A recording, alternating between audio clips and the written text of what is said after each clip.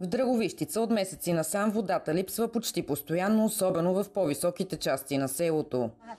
С нощи дойде в 3.30. И аз бех, да, и аз бех вече толкова уморена, че се спах и не можах да се изката. Сутринта я немаше. Няма, имам две бани вътре, по къщата няма водичка. С слабото налягане не може да работи пералнята, не може да работи и бойлера.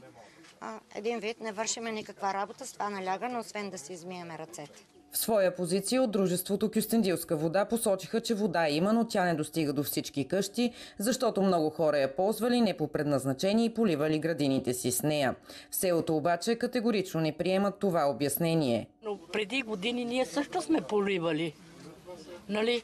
Не е сега за първ път да се полива, да кажем. То се полива постоянно. От община Кюстендил уточниха, че има завършен инвестиционен проект за подмяна на водопровода в Драговищица. Има и разрешително за строеж, обявена обществена поръчка и за избор на изпълнител. Подали сме заявление за сключване на споразумение с МРРБ.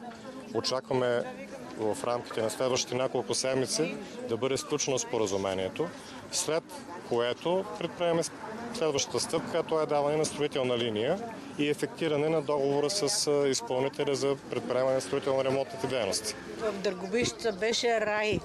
Ами да се... Дърговищица е толкова пълноводна, да вземат една помпа, да качат за тия, които не им стига водата. Защо?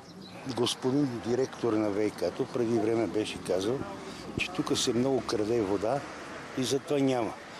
Значи едно нещо, което го нямаш, няма как да украдеш. Ако има вода, да, но ние нямаме вода. Това е. Кметът на Кюстендил вече издал заповед, с която се забранява поливането на градини с питейна вода.